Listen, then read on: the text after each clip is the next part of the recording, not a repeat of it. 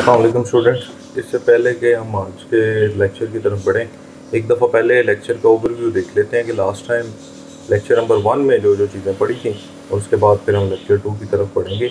تو سب سے پہلے جو ہم نے پہلے لیکچر میں دیکھا تھا، وہ تھا کہ الیکٹریکل پاور ہاؤسز کیا ہوتے ہیں، اور پھر پاور ہاؤسز پر استعمال ہونے والے جو سورسز ہیں پاور کے، وہ کون کون سے یوز کیے جاتے ہیں۔ پھر ان سورسز کی پہلی ٹائپ ہم دیکھ رہے تھے تھرمل سورسز اور اس کے بعد ہم نے تھرمل میں بھی دیکھا تھا کہ تین قسم میں یہ ڈیوائڈ ہوتا ہے سالڈ فیولز لیکوڈ فیولز اور گیس فلوڈ گیس فیولز تو پہلی ٹائپ ہم نے پڑھ لی تھی سالڈ فیولز کیا ہوتے ہیں؟ اور سالڈ فیولز میں سب سے موسٹ کامن جو استعمال کرتے ہیں وہ کوئلہ ہے کوئلے کو دیکھ رہے تھے کہ فارمیشن آف کوئلہ کوئلہ بنتا کیسے ہے؟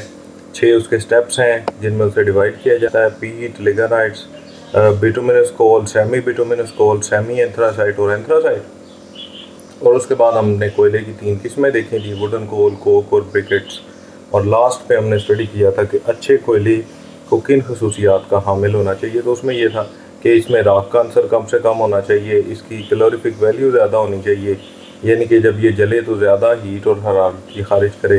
اس کے بعد ہم نے دیکھا تھا کہ سلفر اس میں کم سے کم ہونا چاہیے۔ کیونکہ سلفر دھماکے کے ساتھ ایکسپلوژن کے ساتھ چلتا ہے، تو اس لیے وہ سوٹیبل نہیں سمجھا جاتا۔ اور اس کے بعد یہ اسٹڈی کیا تھا کہ اس کی جو برننگ جلنے کی صلاحیت ہے، وہ زیادہ ہونی چاہیے اور موسمی اثرات اس پر کم سے کم ہونے چاہیے۔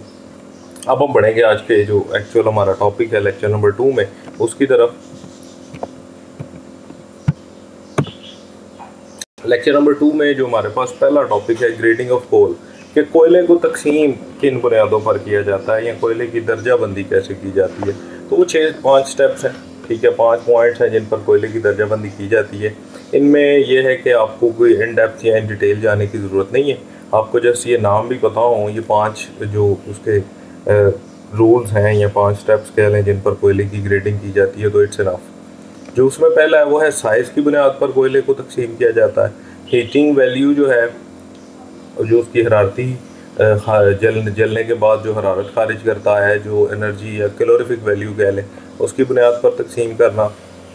پھر راک کا عنصر اس میں کم سے کم ہونا چاہیے کہ راک کے عنصر کی بنیاد پر بھی، ٹھیک ہے۔ اور پھر راک کو جو سافٹنگ ٹمپریچر ہے، اس کا وہ کتنا ہوتا ہے، اس پر اسے ڈیوائڈ کیا جاتا ہے۔ اور سلفر کانٹینٹ کہ اس میں جو سلفر کا عنصر موجود ہے، وہ کتنے فیصد ہے، اس بنیاد پر بھی اسے ڈیوائڈ کیا جاتا ہے۔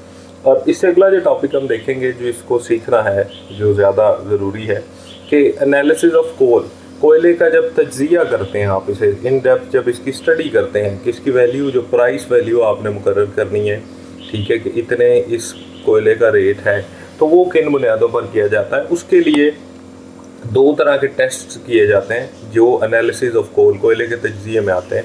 پہلے ٹیسٹ کا نام پروگزیمیٹ انالیسز اور دوسرے ٹیسٹ کا نام ہے الٹیمیٹ انالیسز پروگزیمیٹ انالیسز میں کیا کیا جاتا ہے کہ اس میں کوئلے کی جو حرارت کی اور جلنے کی جو کیپیبلٹی ہے، جو جلنے کی صلاحیت ہے، اس کو فائنڈ آؤٹ کیا جاتا ہے کہ کوئلہ جلنے پر ایک کے جی کتنی اس میں حرارت خارج ہوگی، ٹھیک ہے؟ اور پھر اس کی جو جلنے کی صلاحیت ہے، وہ ڈپینڈ کرتی ہے اس کی کلوریفک ویلیو پہ۔ کہ ایک کلو گرام کوئلہ جلتا ہے تو کتنی انرجی خارج ہوتی ہے کہ وہ ایزیلی برن ہے یا اسی کی وجہ سے اس کی برننگ جو اس کا جلنے کا عمل ہے وہ سست ہے۔ دوسرا پوائنٹ جو ہے کہ اس میں ہم بالکل ایگزیکٹ مقدار معلوم کرتے ہیں۔ جو بھی کوئلے کے چھوٹے چھوٹے ایلیمنٹ جیسے ہم نے پہلے دیکھا تھا، پہلے لیکچر میں ان ڈیٹیل میں، کہ کوئلے میں کاربن پایا جاتا ہے آکسیجن ہوتا ہے ہائیڈروجن ہوتا ہے، نمی ہوتی ہے۔ وولاٹائل میٹرز ہوتے ہیں کہ جب کوئلے کو جلایا جاتا ہے تو جو مادے، ہوا میں خارج ہوتے ہیں، وہ وولاٹائل میٹرز کہلاتے ہیں۔ تو وہ ہم نے پہلے لیکچر میں ان ڈیٹیل اسٹڈی کر چکے ہیں کہ کون سے کوئلے میں کتنے پرسنٹ پائے جاتے ہیں۔ تو یہاں ہم پرسنٹیج میں معلوم نہیں کرتے، یہاں ہم ایگزیکٹ مقدار معلوم کرتے ہیں کہ یہ چیز کوئلے میں کتنی کتنی موجود ہے۔ کہ نمی وولاٹائل میٹرز جو بتائیں آپ کو، پھر کاربن ہے اور پھر راکھ، یہ چیزیں کوئلے میں کتنی مقدار میں موجود ہیں۔ اور دوسری بات، اس میں یہ آتی ہے کہ یہ ٹیسٹ آسانی سے پرفارم ہو جاتا ہے، اس میں کوئی ڈیفیکلٹی نہیں ہے، کوئی بہت زیادہ اس میں پیچیدگی نہیں ہے کمپلیکسٹیز نہیں ہے۔ پھر یہ ہے کہ یہ استعمال ہوتا ہے کمرشل پرپزز میں۔ مطلب اس ٹیسٹ کو کمرشل بڑے لیول پر استعمال کیا جاتا ہے، آپ اسے عام گھریلو لیول پر پرفارم نہیں کر سکتے۔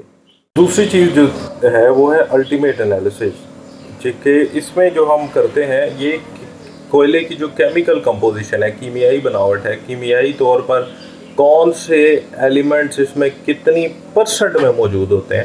وہ معلوم کرنے کے لیے۔ پروگزیمیٹ انالیسز میں ہم ایگزیکٹ اماؤنٹ نکال رہے تھے، اس میں ہم پرسنٹ میں فائنڈ کرتے ہیں کہ کون سا ایلیمنٹ کتنے پرسنٹ میں کوئلے میں موجود ہے۔ جیسے لیٹ سپوز کسی کوئلے میں کاربن نوے پرسنٹ ہے ہائیڈروجن دو پرسنٹ ہے آکسیجن چالیس چار پرسنٹ ہے، اور پھر اسی طرح ایش کی مخصوص، راک کی مخصوص پرسنٹیج ہے۔ تو الٹیمیٹ انالیسز میں ہم فائنڈ آؤٹ کرتے ہیں کوئلے کی کیمیائی بناوٹ۔ اور اس کو ہم فائنڈ آؤٹ کرتے ہیں جو بھی چیزیں موجود ہیں ان کو پرسنٹیج میں۔ جبکہ پروگزیمیٹ انالیسز میں ہم اس کی ہیٹنگ اور برننگ جو صلاحیت ہے اس کو معلوم کرتے ہیں اور جو بھی پارٹیکلز جو بھی اس کے کمپوزیشن میں، اس کی بناوٹ میں چیزیں موجود ہیں، ان کو ہم معلوم کرتے ہیں ایگزیکٹ اماؤنٹ میں۔ تو یہ ایک چھوٹا سا فرق ہے پروگزیمیٹ اور الٹیمیٹ انالیسز میں۔ پھر آ جاتے ہیں جی سالڈ فیولز چونکہ یہاں پر کوئلے پہ ختم ہو جاتے ہیں، یہی مو سب سے زیادہ استعمال ہوتا ہے سالڈ فیول میں۔ تو اس کے فائدے اور اس کے نقصانات۔ پہلا فائدہ جو ہے یہ کہ اس کی سٹوریج بہت آسان ہے۔ اس اس کو سٹور کرنا ایزی ہے۔ سالڈ سٹیٹ میں موجود ہوتا ہے۔ آپ اسے ایزیلی ٹھوس حالت میں تو ایزیلی آپ اسے سٹور کر سکتے ہیں۔ دوسرا فائدہ یہ کہ اسے ایک جگہ سے دوسری جگہ منتقل کرنا آسان ہے بنسبت لیکوڈ یا گیس والے فلوٹ فیولز کے۔ اور اس کے بعد یہ کیونکہ یہ قدرتی طور پر پایا جاتا ہے، ٹھیک ہے کوئلہ، تو اس لیے اس کی جو انیشیل کاسٹ ہے وہ بھی کم ہوتی ہے۔ اور دوسرا چوتھا جو ہے کہ اس پر موسم کا اثر بھی بہت کم ہے اور چونکہ کوئلہ سستا موجود ہے تو اس سے اس سے پیدا ہونے والی جو بجلی ہے، اس کی پر یونٹ جو کاسٹ ہے، جو پاور کی پر یونٹ کاسٹ ہے، وہ بھی کم ہوتی ہے۔ تو پانچ فائدے سٹور کرنا آسان ہے ٹرانسپورٹ کرنا آسان ہے، اس کی ابتدائی قیمت کم ہوتی ہے، موسم کا اس پر اثر کم سے کم ہوتا ہے اور پھر یہ چونکہ یہ کوئلہ قدرتی طور پر پایا جاتا ہے تو اس لیے اس سے پیدا ہونے والی پاور کی جو ہے وہ جو کاسٹ ہے انیشیل eh, جو اس کی پر یونٹ بجلی کی کاسٹ ہے وہ بھی کم ہوتی ہے۔ اس کے نقصانات جو ہیں وہ یہ ہے کہ اسے سٹور کرنے کے لیے آپ کو جگہ بہت وسیع چاہیے۔ سالڈ سٹیٹ میں موجود ہوتا ہے تو اسے سٹور کرنے کے لیے سٹوریج ایزی ہے، لیکن اس کے لیے جگہ بہت وسیع چاہیے۔ ٹرانسپورٹیشن آسان ہے ایک جگہ سے دوسری جگہ لے کے جانا، لیکن اس کا خرچہ بہت زیادہ ہو جاتا ہے۔ اور پھر آپ کو اسی طرح زیادہ لوگوں کی بھی ضرورت پڑتی ہے اسے ایک جگہ سے دوسری جگہ ٹرانسپورٹ کرنے کے لیے۔ اور اس کا جو سب سے بڑا ڈس ایڈوانٹیج وہ یہ کہ یہ فضائی آلودگی کا باعث بنتا ہے۔ اس کی تھرمل ایفیشنسی بہت کم ہوتی ہے اور پھر جو اس سے راکھ بنتی ہے، جب آپ بڑے پیمانے پر پاور ہاؤسز کی بات کرتے ہیں تو جو اس سے راکھ بنتی ہے، اس کی تعداد بہت زیادہ ہوتی ہے۔ تو اس لیے اس کی جو راکھ کو سنبھالنا، ٹھکانے لگانا جو ایش ہینڈلنگ ہے، وہ بھی بہت مشکل ہے۔ سالڈ فیولز ہم نے دیکھ لی ہے، اس میں ہم نے کوئلے کی اقسام پڑھ لی۔ کوئلے کا بنانے کا طریقہ، جتنے بھی مراحل سے گزرتا ہے، وہ دیکھ لیے۔ اچھے کوئلے کی خصوصیات دیکھ لیں، پھر ہم نے کوئلے کی جو درجہ بندی ہے اور کوئلے کی تجزیہ ہے، وہ بھی دیکھ لیا اور سالڈ فیولز کے فائدے نقصانات بھی دیکھ لیے اب اب آتے ہیں لیکوڈ فیولز پہ۔ کہ لیکوڈ فیولز کیا ہوتے ہیں؟ مایا حالت میں جو بھی ایندھن موجود ہوتا ہے، وہ لیکوڈ فیولز پائے جاتے ہیں۔ یہ قدرتی طور پر زمین میں کنویں کھود کے نکالے جاتے ہیں۔ یہ پیٹرولیم کی صورت میں ہو سکتا ہے، یہ کروڈ آئل کی فارم میں بھی ہو سکتا ہے، ٹھیک ہے، یا پیٹرولیم کی شکل میں بھی ہو سکتا ہے۔ تو جو بھی پیٹرولیم کہ جو بھی آئل زمین سے آپ نکالتے ہیں، جو کروڈ آئل را فارم میں نکلتا ہے اور پھر اسے صاف کر کے آپ پیٹرولیم وغیرہ میں تقسیم کرتے ہیں، یہ ڈیزل کی فارم میں بھی ہو سکتا ہے، جسے آپ یوز کرتے ہیں پاور ہاؤسز میں ایندھن کے طور پر۔ اب اس کی جو فائدے ہیں بنسبت اس کے سالڈ فیولز کے، وہ بھی دیکھ لیتے ہیں، لیکن اس سے پہلے آپ یہ دیکھیں کہ جب آپ گیسولین جو آئل ہے، نکلتا ہے، جو پیٹرولیم کی صورت میں گیسولین اس کی جو کلوریفک ویلیو ہے وہ گیارہ ہزار دو سو پچاس کلو کیلریز پر کے جی پھر جو مٹی کا تیل نکلتا ہے، اس کی کلوریفک ویلیو ہے گیارہ ہزار ایک سو کلو کیلریز اور پھر ڈیزل کی جب آپ دیکھتے ہیں تو گیارہ ہزار کلو کیلریز ہے۔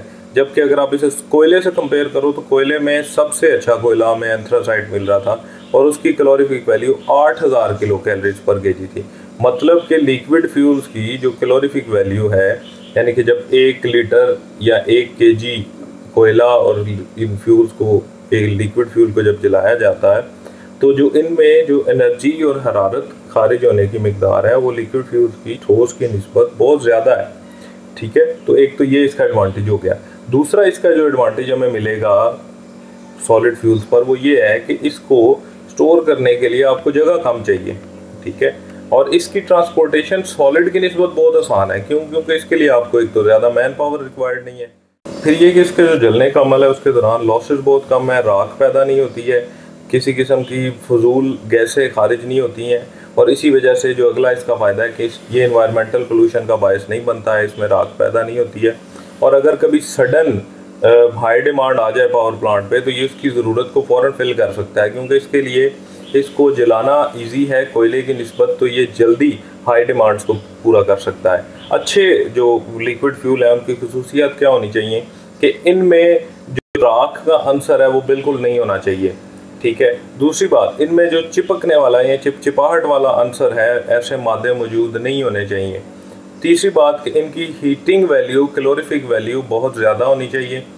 چوتھی کہ ان میں سلفر کا کانٹینٹ کم ہونا چاہیے۔ میں پھر سے ایک دفعہ بتا دوں کہ سلفر کا کانٹینٹ کوئلے میں بھی اور اس میں بھی کم کیوں دیکھا جاتا ہے؟ کیونکہ سلفر ایکسپلوین دھماکے کے ساتھ جلتا ہے۔ اس لیے وہ پاور ہاؤسز پر جلانے کے لیے سوٹیبل یا بطور ایندھن سوٹیبل نہیں ہے۔ جو اگلا پوائنٹ ہے لو کروسو ٹینڈنسی یعنی کہ ان کا چیزوں کو اپنے ساتھ اکثر لیکوڈ ہوتے ہیں۔ جب اپنے کسی چیز پر ڈالتے ہیں تو اسے گلانے کا یا اپنے ساتھ ملا لینے کا باعث بنتے ہیں، رنگ لگنے کا باعث بنتے ہیں۔ تو یہ وہی ہے کہ اس کی جو زنگ لگنے کی صلاحیت ہے یا اس کی جو زنگ لگنے کی ٹینڈنسی ہے، وہ کم سے کم ہونی چاہیے۔ کیونکہ کم سے کم ہوگا تو آپ کے پاور ہاؤسز میں یا جن ٹینکس میں انہیں اسٹور کیا جاتا ہے، یہ ان کو نقصان نہیں پہنچائیں گے۔ ہائی وسکوسٹی ان کی ہونی چاہیے یعنی کہ یہ گاڑے ہونے چاہیے۔ یہ پتلے جو uh, لیکوڈ فیولز ہیں، وہ استعمال نہیں کیے جائیں گے۔ ان کی وسکوسٹی جو ہے، وہ گاڑی ہونی چاہیے تھکنیس زیادہ ہونی چاہیے۔ اگر آپ آگے چلیں، تو آگے ہیں گیس فیولز جب ہم گیس فیولز کی بات کرتے ہیں، تو یہ بھی اسی طرح uh, نکالے جاتے ہیں، جیسے زمین سے لیکوڈ فیولز نکلتے ہیں، اسی طریقے سے زمین سے گیسیس فیولز بھی نکلتے ہیں۔ اور پھر کچھ گیسیس فیولز کو اسی بنا پر دو طریقوں میں تقسیم کیا جاتا ہے کہ ایک تو نیچرلی اویلیبل ہے دوسرے یہ دوسروں کو ہم خود بناتے ہیں، ٹھیک ہے؟ تو پہلا نیچرل گیس دوسرا آرٹیفیشل یا پریپیئرڈ گیس جسے مختلف طریقوں سے گیس کو پریپیئر کیا جاتا ہے۔ تو پہلے ہم دیکھیں گے کہ نیچرل گیس کیا ہوتا ہے۔ جو آرٹیفیشل یا پریپیئرڈ گیس ہے وہ ہم نیکسٹ لیکچر میں دیکھیں گے۔ تو پہلا جو آج کا ٹاپک جس پہ اینڈ ہوگا، وہ یہی ہے کہ نیچرل گیس کیا ہوتی ہے۔ نیچرل گیس قدرتی طور پر پائی جانے والی گیس ہے۔ یہ گیس کے کنویں یا پیٹرولیم کے کنویں جہاں کھودے جاتے ہیں، وہیں سے انہی کے ساتھ برآمد ہوتی ہے اور وہیں سے نکالی جاتی ہے۔ جو اہم اجزاء جو پائے جاتے ہیں، وہ ہے میتھین اور ایتھین یہ ہائیڈرو کاربنس کی وہ فارم ہے، ٹھیک ہے، جو میتھین اگر آپ وہ سیریز کیمسٹری کی یاد کریں تو ٹین گیسز ہمیں نارملی یاد ہونی چاہیے تھی میتھین ایتھین بیوٹین پروپین پینٹین وغیرہ ٹھیک ہے تو اس کے جو بیسک کمپوننٹس ہیں جو بیسک اجزاء ہیں وہ میتھین گیس جس کا chemical formula C H four ہے اور ایتھین گیس جس کا chemical formula C two H six ہے یہ اس کے بیسک اجزاء ہیں یعنی کہ اس میں پچاسی فیصد تک میتھین گیس پائی جاتی ہے دس فیصد تک اس میں ایتھین گیس موجود ہوتی ہے اور پانچ فیصد تک دوسرے hydrocarbons hydrocarbons carbon اور ہائیڈروجن کو ملا کر جو اجزاء بنے ہوتے ہیں، وہ ہائیڈرو کاربنس کہلاتے ہیں، یہ آرگینک اجزاء ہوتے ہیں۔ اس کے بعد یہ کہ اس کے جو گیس ہے، یہ کلر لیس ہوتی ہے۔ اس کا کوئی رنگ نہیں ہوتا، یہ نان ٹاکسک ہوتی ہے، زہریلی بھی نہیں ہوتی ہے۔ کیونکہ یہ آپ اگر دیکھیں میتھین گیس وہ ہے جو ہم گھروں میں عام استعمال کرتے ہیں۔ پھر ہے کہ اس کی کلوریفک ویلیو جو ہے، وہ ہے پانچ سو پچیس kilocalories per meter cube gas کو میئر کرنے کا یونٹ میٹر کیوب آتا ہے۔ تو اس کی جو کلوریفک ویلیو ہے وہ پانچ سو پچیس kilo calories per metre cube ہے اور اسے ایک جگہ سے دوسری جگہ جب منتقل کیا جاتا ہے تو اس وقت جو اس کا پریشر ہوتا ہے وہ ہے sixty K G per centimeter metre cube. اور یہ گیس سب تب سب سے زیادہ افیکٹو ہوگی یا تب سب سے زیادہ اس کی افیکٹونیس ملے گی جب اس میں کم از کم پندرہ فیصد تک ہائیڈرو کاربنز موجود ہوں۔ اور یہ انٹرنل کمبسشن انجنس میں استعمال ہوتی ہے انٹرنل کمبسشن انجنس وہ انجن ہوتے ہیں جو ہوا کے بیرونی ہوا کے پریشر کے ذریعے اثر جب فیول ان کے اندر گرتا ہے تو وہ اپنے انجن کے اندر جو جلنے کے عمل کی مدد سے جو انجن چلتے ہیں وہ انٹرنل کمبشن انجنز کہلاتے ہیں۔ تو اگر آج دیکھیں تو آج ہم نے جو چیزیں سیکھی ہیں، ایک دفعہ اگر روور ویو کریں تو وہ کیا تھیں؟ کہ کوئلے کی گریڈنگ کن باتوں پر کی جاتی ہے؟ کوئلے کے انالیسس کرنے کے طریقے ایڈوانٹیجز سالڈ اور سالڈ فیولز کے ایڈوانٹیجز ڈس ایڈوانٹیجز مایا ایندھن لیکوڈ فیولز کیا ہوتے ہیں؟ لیکوڈ فیولز کے فائدے لیکوڈ فیول کی خصوصیات گیس ایندھن، اور پھر اینڈ پہ جو ہم نے دیکھا ہے کہ گیس ایندھن کو کن دو چیزوں میں تقسیم کیا جاتا ہے اور اس میں سے نیچرل گیس کیا ہوتی ہے؟